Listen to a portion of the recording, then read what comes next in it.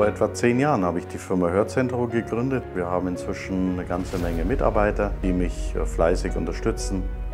Was immer mehr nachgefragt wird, sind Hörsysteme, die einfach ästhetisch ansprechend und klein sind. Da gibt es natürlich inzwischen eine solche Vielfalt von Hörgeräten, die beispielsweise auch mit dem Smartphone verbunden werden, sodass man seine Hörsysteme inzwischen telefonieren und die Geräte über das Smartphone fernsteuern kann. Ein ganz besonderes Produkt, was sicher auch ein Alleinstellungsmerkmal für unsere Firma ist, ist das Lyric, ein Hörgerät, welches komplett unsichtbar ist welches überhaupt nicht mehr bedient werden muss und direkt vom Trommelfell sitzt.